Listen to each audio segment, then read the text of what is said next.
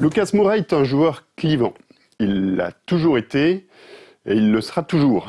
Et son triplé en demi-finale de Ligue des Champions sur la pelouse de l'Ajax mercredi soir n'y changera rien. Il y a des joueurs qui divisent tout au long de leur euh, carrière. Quand il signe au PSG en 2012, il fait déjà débat. Il a 20 ans, le PSG débourse 40 millions d'euros. Il va jouer en 5 ans plus de 200 matchs avec le PSG, mais finalement, on ne retient qu'une seule action de Lucas, et c'est assez euh, terrible.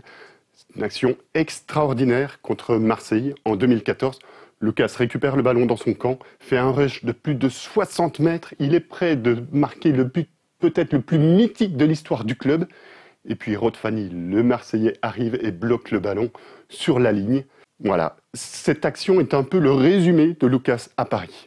Beaucoup d'enthousiasme, beaucoup d'espoir, beaucoup d'envie, et puis à la fin, rien. On entend aujourd'hui les supporters du PSG se dire le PSG n'aurait jamais dû vendre Lucas, il fallait le garder. Bon, il faut remettre les choses dans le contexte. Quand le PSG décide de recruter Neymar et Mbappé, dans la foulée, il faut absolument vendre, vendre bien et très vite. Lucas n'entre pas dans les plans d'Unai Emery. Là-dessus, il n'y a pas grand-chose euh, à dire. S'il y a un bémol à, à émettre sur la gestion des dirigeants, c'est sur le point de vue humain. Lucas est un joueur extrêmement gentil, extrêmement respectueux, sincèrement attaché au PSG.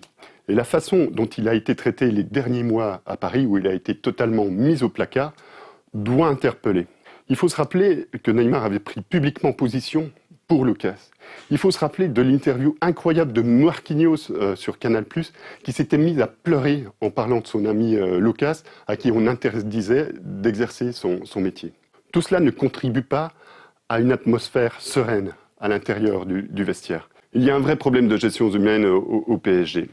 Rabiot, Ben Arfa, Lucas ont eu un réel impact sur l'ambiance du vestiaire. Ce sont des dossiers sur lesquels les dirigeants doivent absolument méditer.